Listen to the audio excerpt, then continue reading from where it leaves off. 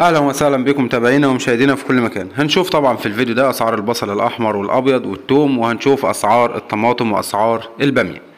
لايك يا جماعة الفيديو ما تنساش تشترك في القناة لو لسه ما اشتركتش. اضغط على كلمة اشتراك باللون الأحمر أسفل الفيديو. وشكرا جدا جدا على دعمكم للفيديوهات السابقة ويا رب دايما نقدم محتوى يفيدكم. طيب إيه إيه حكاية البصل السنة دي وحكاية الثوم؟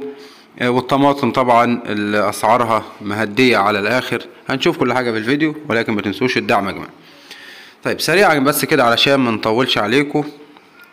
أسعار البصل ابتدت إن هي تريح ولكن استقرت آه اليومين دول. يعني كان 13 جنيه و12 جنيه وابتدت تنخفض تدريجيا الفترة اللي مضت. كل يوم ينزل جنيه جنيه ونص 2 جنيه ولكن استقرت عند السعر اللي هنعرضه حالا. أسعار البصل الأحمر يا جماعة في بصل أحمر يعني تقدر تقول كده من 8 جنيه لحد 10 جنيه ونص.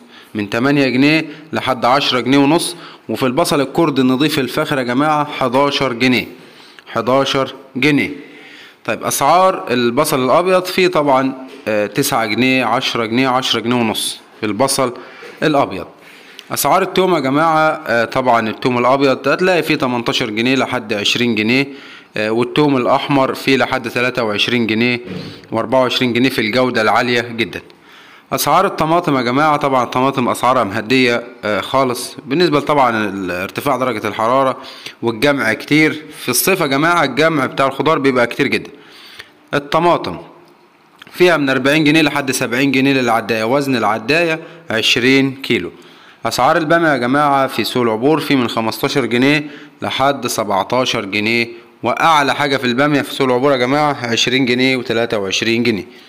انتظروا إن شاء الله كل جديد على القناة. شكرا لكم. السلام عليكم ورحمة الله وبركاته.